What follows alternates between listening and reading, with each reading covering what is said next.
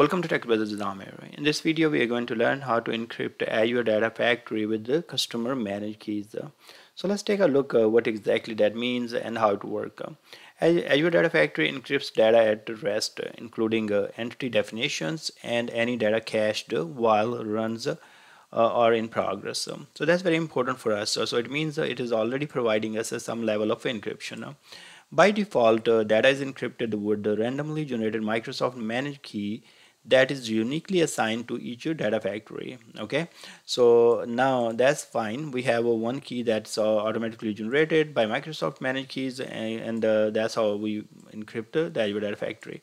Now for extra security guarantee you can now enable uh, bring your own key with customer managed keys feature in Azure Data Factory.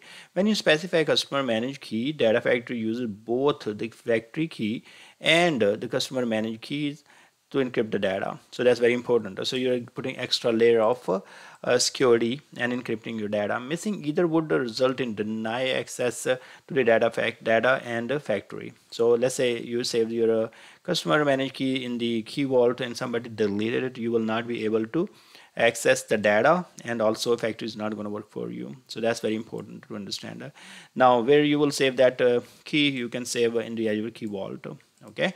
Now you can read all these details. You have portal here you have user here portal PowerShell REST API and here is your data factory.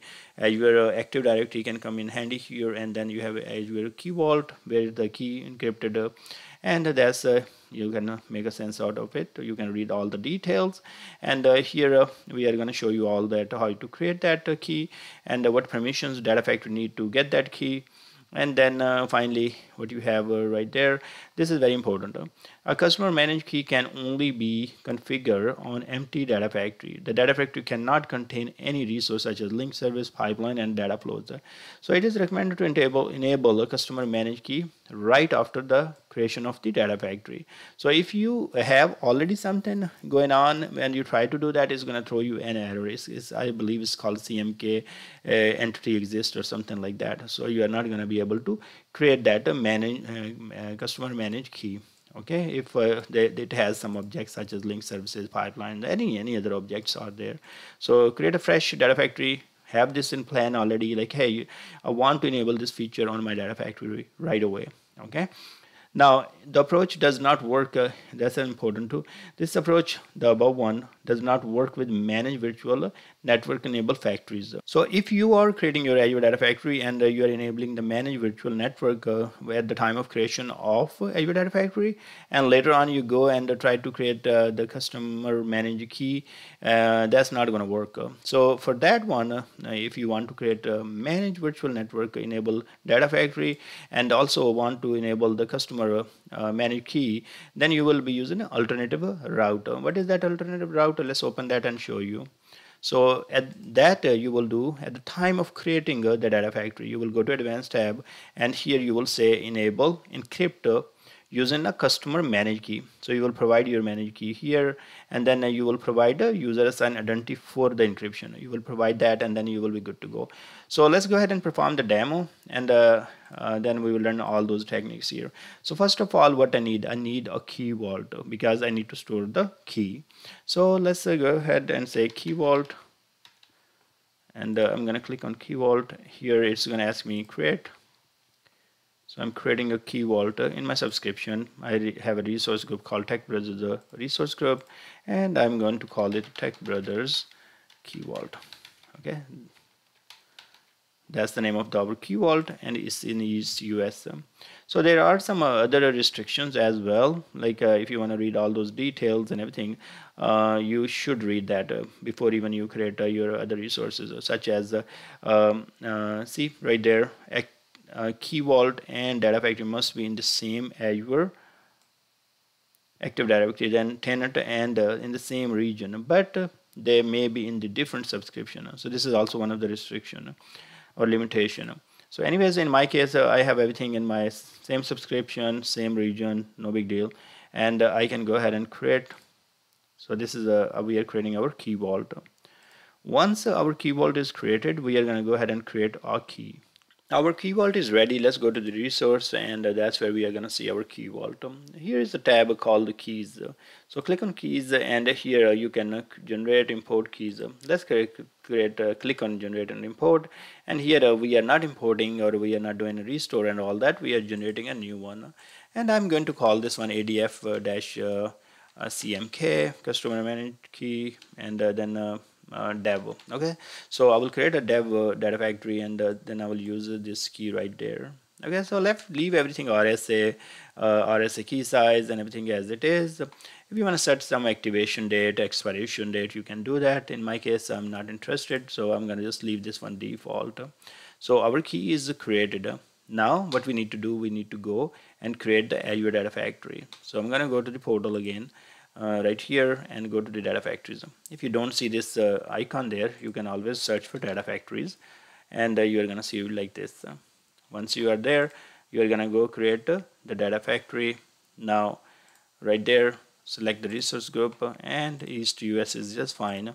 And I will say Tech Brothers ADF that's uh, and maybe I can put the dev name to it okay so that should be available. Let's see it is and in the configuration. I don't want the git and all that. Let's uh, create. So we are creating our Azure Data Factory. So hit create. Our Azure Data Factory is ready and we can go and open in our uh, studio Azure Data Factory. Click right there. So we are in uh, Azure Factory studio right there. And now we can uh, go to the uh, let's say author and see there is no pipeline there is no data set anything. So then the monitoring prob uh, nothing has run so everything is okay. So go to manage here and uh, you see that uh, in the integration runtime you have auto resolve okay? So if you have selected at a time of creating this if you have selected manage uh, IR then uh, uh, it will not let you create it. It will throw you error. I'm talking about the customer manage key if you try to create it with the managed IR this is a okay auto is fine. So we are going to go to the manage uh, customer manage key here and now we are going to add the key to it. Hit add and now it's asking you what is your Azure Key Vault URL so if I will go ahead and uh, now if you guys remember so I can go to the key vault and uh, in the key vault we have this uh, keys right? So this key is called the ADF CMK dev. I can click here and now I can copy this URL okay key identifier. So I can go to the Azure Data Factory here and paste it right there. But what's gonna happen if I will try to save it it's gonna throw us some error because we have not provided permission uh, to our Azure Data Factory to the key vault.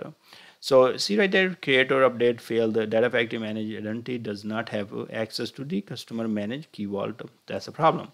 So we have to go back to our key vault and in the key vault we have to provide permission.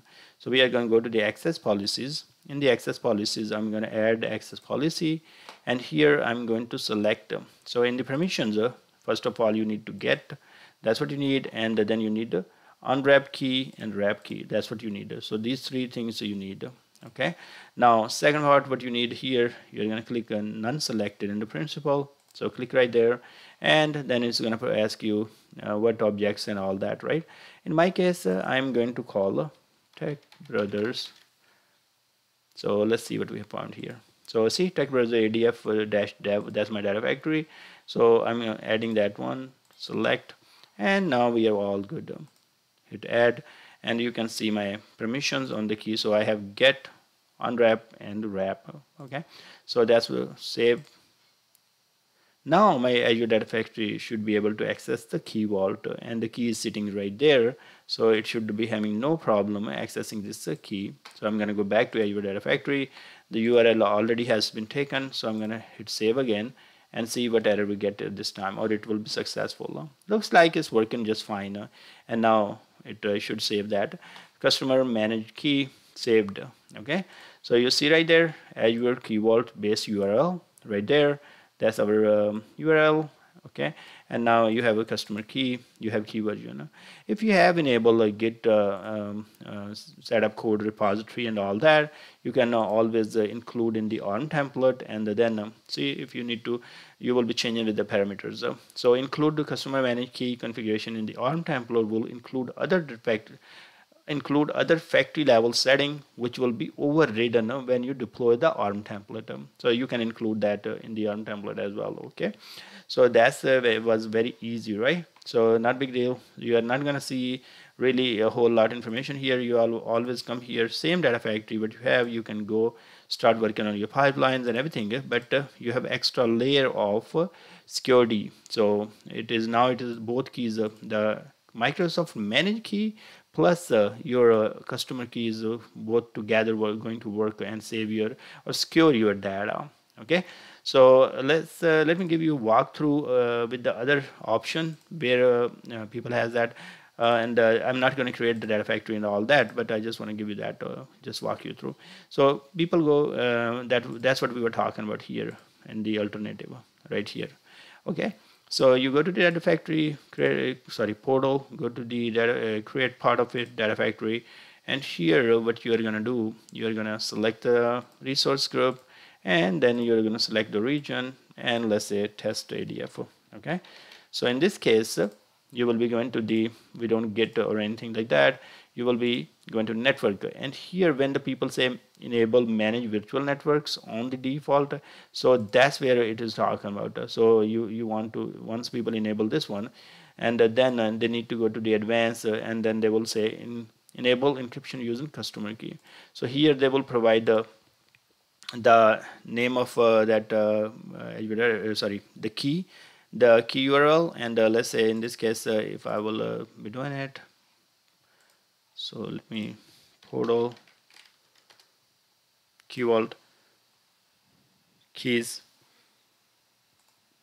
copy and now you go back here and uh, once you enable this one then you're going to paste right there and uh, after that uh, you will be having you have to have a user assigned identity for encryption so you have to create this one first and once you have that uh, uh, then you can select this part see right there so this identity is only used to communicate with the key vault specified above. Please make sure you have granted access to key vault in Azure in uh, Azure Active Directive. So you have to create this um, uh, assigned uh, um, identity for the encryption. So once you do that, then you will be able to uh, configure from here. So in this is only like when people want to have this uh, enable manage virtual network on default auto resolved that's if they want to have this feature then they have to go to this route okay? Otherwise the way I showed you you will be just fine. Thank you very much for watching and uh, please subscribe my channel and I will see you guys in the next video